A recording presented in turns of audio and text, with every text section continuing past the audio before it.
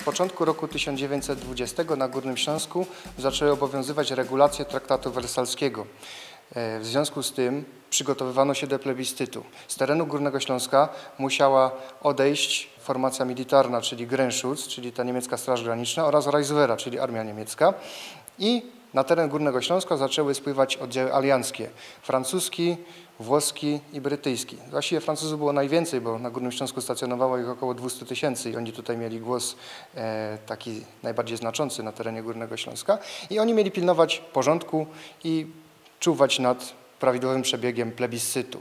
E, Przygotowywano oczywiście komisariaty plebiscytowe. Ze strony polskiej, polskim komisariatem plebiscytowym w Bytomiu w hotelu Lomnic szefował Wojciech Korfanty. Natomiast z niemieckiej strony e, niemiecki komisariat plebiscytowy znajdował się w Katowicach w hotelu Central, a jego szefem był dr Kurt Urbanek, który był burmistrzem Rozbarku. No i cóż, obie strony się przygotowywały do tego, tegoż plebiscytu, ale kością niezgody była niemiecka policja bezpieczeństwa, czyli Sicherheitspolizei albo ZIPO, a po śląsku zwana Zicherką. Była to policja, która teoretycznie w założeniu miała być bezstronna. Funkcjonariusze mieli pilnować porządku i ochraniać te różne wiece, koncerty, które tutaj się znajdowały, żeby nie dochodziło do jakichś przepychanek. Ale byli to funkcjonariusze niemieccy i oni sprzyjali jawnie opcji oczywiście tej e, niemieckiej przygotowaniu plebiscytów. E, nakładano kary i grzywny na wiecujących Polaków, rozpędzano wiece, takie zdarzenie miało między innymi miejsce w Opolu, w Katowicach.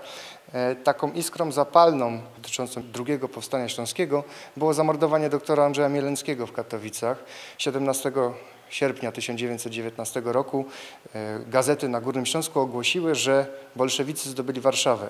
Rozpoczęły się manifestacje, które e, oczywiście manifestacje niemieckie, które tutaj mm, swoją radość wyrażały. Jedna z takich manifestacji właśnie miała miejsce w Katowicach. Na skutek przepychanek i eksplozji granatu, którą ktoś który ktoś wyrzucił, e, padli ranni. Doktor Mieleński, który niedaleko mieszkał, chciał udzielić pomocy rannym, ale któryś z Niemców go rozpoznał, powiedział, że to jest ten lekarz Polak, że to on prawdopodobnie rzucił ten granat, więc rozwścieczony tłum najpierw go zlinczował. Mm, Prawie e, już nieżywego doktora zaniesiono do ambulansu, ale tłum jeszcze go dopadł w okolicach rzeki Rawy. Dodatkowo jeszcze go mocniej pobito i utopiono go w rzece Rawie, więc to, było taki, to był taki skandal polityczny. Korfanty tutaj też apelował do aliantów o wzmocnienie ochrony i faktycznie Francuzi w szybkim tempie musieli te wiece Niemców pacyfikować. No i cóż, a żeby się pozbyć tej policji, postanowiono działać. Dlatego też e, z nocy z 19 na 20 sierpnia 1919 roku wybuchło drugie powstanie śląskie, ale ono miało troszeczkę inny charakter.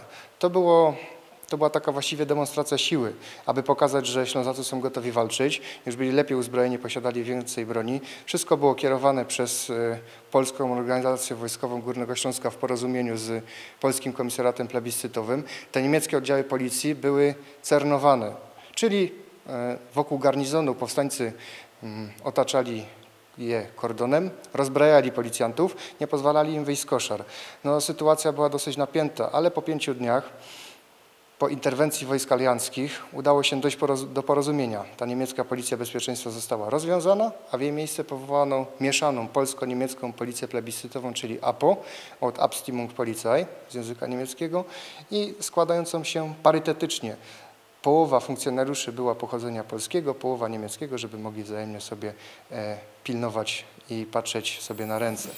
I dzięki temu te przygotowania przedplebiscytowe już przebiegały spokojnie.